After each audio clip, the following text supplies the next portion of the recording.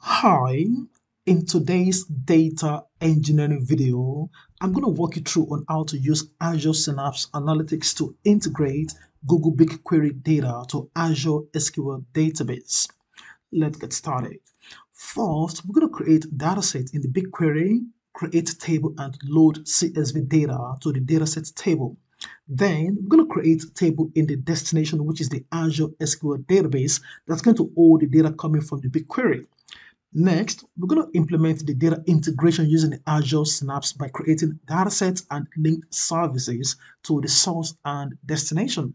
Let's go in into this project. So I'm going to come to my console.cloud.google.com. I'm going to click on this navigation menu and then I'm going to scroll down and then click on BigQuery. So we want to launch the BigQuery Studio. So in the Query Studio, I'm going to say the Cornerstone IT Solution Project and I'm going to click on the ellipses. We want to create data set, and I'm going to give this one a name. I'm going to call this one Azure underscore sales and then click on create data set. Next, we want to create a table. So click on this dataset ellipses and then create table. And then I can go to the source. This is going to be coming from my upload and then go ahead and browse through the location. I'm going to pick this sales 2023.csv, double click. I'm going to say the file format comma separated value and then for the destination it's going to be to my project and then the data set and then I'm going to give this a name so I'm going to call this one transaction table and then I'm going to scroll down now I want to also detect the data type from the source and then click on create table all right, so we have the Azure underscore sales dataset and then the table. So this is the table icon and then this is the dataset icon. So I can go on and right click or click on this ellipses and then I can query the data. So click on this query and then I can just put in stars. I'm going to have the select all the rows from the Cornerstone IT project and then I'm going to say my dataset name and then the name of my table. I can go ahead and run and preview this data. So there we go. I can close this for now and I can close this for now. So we have all the columns, the year, region, subcategory, product, price, quantity, and sales. Brilliant. Now we want to go ahead and create a table in the Azure SQL database. So I'm going to come to my portal, the Azure portal, and then I've got this Cornerstone IT SQL database. I'm going to click on the query editor preview and I'm going to use the Microsoft Entra ID to authenticate. So click on continue as Abiola at Cornerstone IT Solutions and there we go. So for now, I don't have any table. So I'm going to come to this notepad. Basically, I've got this create table query. So I'm going to go ahead and copy this and Control C and then come back here and Control V. So we want to go ahead and call this table big Google BigQuery sales and then we're going to have the year column as integer, region, subcategory product as varchar and then we have the price, quantity and the sales as integer data types and then I'm going to scroll down. So we're going to have the select star from Google BigQuery sales. So I can go on and select all of this code and then run the scripts. So I'm going to come to the result and I'm going to see my table created and I can see the columns, the year, region, subcategory, product, price, uh, quantity, and then the sales amount. So that must match all the columns from our source, which is absolutely important. Now that's sorted. I'm going to go ahead and launch the Azure Synapse Workspace. So I've got this Cornerstone IT Solutions Azure Synapse service created. So I'm going to go ahead and click on open here. So I'm going to open the Synapse Studio. In the Synapse Studio, I'm going to come to the integrate. Now in the integrate, I can click on this plus sign and then I can create a pipeline. So I'm going to go ahead and give this a meaningful name. I'm going to call this one data transfer and then press enter to commit. I can close these properties for now. So that has been renamed. And then I'm going to come to this activity and I'm going to use the copy data activity. So I'm going to drag this onto the canvas. I can collapse this for now. I can come to the general and give this a name. Let me just call this one data movement. And then and then I can click on the source. Now in the source, we need to create source data set. So go ahead and click on this new, and then now my data set is going to be BigQuery. So I'm going to search for Google BigQuery. Click on that and then click on continue. So I'm going to go with this name and then we need to create a linked service to the source. So click on this name and then I'm going to stick this name and this is going to be auto resolve integration runtime. So I need the project ID. So I'm going to come back here. Now I'm going to go back and expand this. So this is my project ID. So I'm going to copy this Cornerstone IT solution. So whatever you have is project ID from your source. Control C to copy. I'm going to come back here and Control V to paste.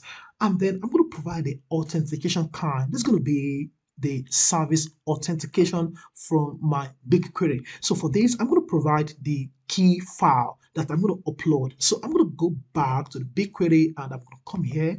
I want to search for the IAM and click on that. So I'm going to leave this. So in the IAM, I'm going to go ahead and point to this IAM.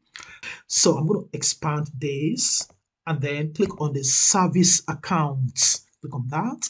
And then we need to create a service account. So basically I've got this one, but I'm going to show you how to create one. Click on this create service account. And then we're going to provide a name for this. I'm going to call this on Azure Data Movement okay okay let me just make this to be data movement. And then i'm going to say the service account id so this is fine. Go ahead and click on create and continue. So this is acceptable. And then we can provide a role. So we want to grant this service account access to our cornerstone it project. So i'm going to click on the select a role. I want to choose the basic and i want to choose the owner and then click on continue and this is fine. So click on done and that is sorted. So I'm going to say the Azure data movement. So I'm going to double click on that. And then I'm going to come to the keys. Now in the keys, we want to generate a new key. Click on this add key and I want to create a new key. Click on that. So for our key, we want to choose the JavaScript object notation key type. So this is the recommended. Go ahead and click on create and this is going to be downloaded onto my local laptop. So I'm going to have one here and I'm going to go back to the Synapse and then click on browse file. I'm going to go to my downloads and then double click on this very first one double click and then I can test the connection to the source. Click on the test connection. This should be successful. Okay connection successful. Go ahead and click on create link service. Okay so we can go on and specify the table name. So i'm going to wait for the table name to deploy. So i'm going to say the name of my data set and then the name of my table in a moment. Let's wait. Oh, that's it. Click on that. So I'm going to see the Azure underscore sales dataset and dot transaction table name. Click on that and then go ahead and click on OK. So we have the configuration for the source and I want to go to the sink. Now this is going to be our destination, the Azure SQL database. Again, we want to create sink dataset. Click on the new and then this is going to be Azure SQL and then click on the SQL database. Click on continue. I'm going to stick with this name. Click on the linked service. I'm going to create a new linked service. I'm going to stick with this name. And of course, I'm going to point to my Azure subscription. So I'm going to choose the Visual Studio Enterprise. So click on this and there we go. And I'm going to provide a name for my server name. So I'm going to choose the Cornerstone IT Solutions here and then I'm going to point to the database name. So click on that. I'm going to say the Cornerstone IT Solutions database. And then I'm going to provide the authentication card. It's going to be SQL authentication. So I need the username. I'm going to come here and I'm going to say my server admin, which is the same thing as my username. I'm going to copy this, which is under the SQL server. So come back and then Control V to paste. And then I'm going to type in the password